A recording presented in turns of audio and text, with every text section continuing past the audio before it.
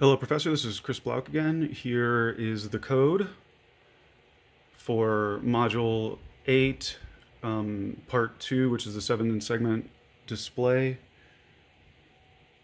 And then here's my wiring, and you can see it functioning.